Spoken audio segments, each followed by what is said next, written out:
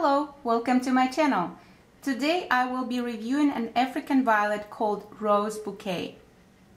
It was hybridized by G.T. Smith and registered with the African Violet Society of America in 2001 under the number 9028. What you see in front of you is a young plant in the middle of its second bloom. I received it in early May from Tropical World USA as a blooming plant. And since I had repotted it, I had to remove the blooms to let it acclimate, acclimate to my growing environment. Now about 12 weeks later, it is blooming again. And as you can see, it has some blooms that are fully opened and it also has a lot, a lot, a lot of uh, buds. So it looks to be a prolific bloomer. It is a standard variety with medium green, plain quilted leaves that are variegated all throughout the surface with the mosaic pink and white variegation. And when we look closer at the center, we can see that the pink variegation shows most prominently at the central part of the rosette at the very, very young leaves. And the pink variegation tone of the young leaves um, complements really nicely with the pink color, light pink uh, color of the blooms, which makes it into a very, very uh, attractive, spectacular looking African violet plant. It does need a little bit of grooming to grow into a symmetrical rosette.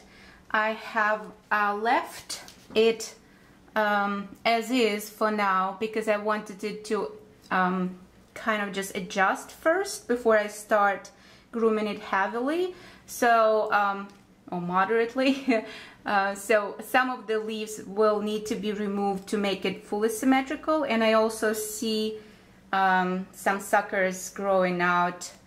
Uh, so I need to also remove them. Um, the flowers are double pink frilled stars.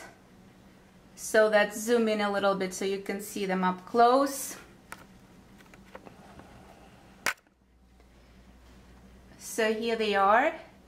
They look like miniature roses. So uh, the plant really looks like a rose bouquet. The name of this plant really speaks for itself. They are not large. They're about an inch a quarter of an inch to an inch in diameter. And so if you compare it to the coin dime coin they're about the same size or maybe a little lar larger than the dime coin. Here we go. Um, but they're very very very pretty. So the size here really doesn't matter. It's the overall overall overall look of the plant that matters the most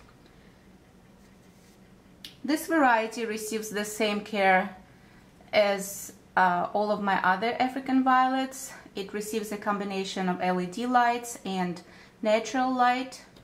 It stands here on this plant stand right there on the very top shelf.